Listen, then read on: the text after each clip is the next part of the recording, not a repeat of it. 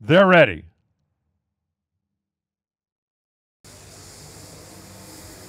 Both drivers away on a green. Scott is out there. Here comes Baby Laris chasing him down. Not going to get him.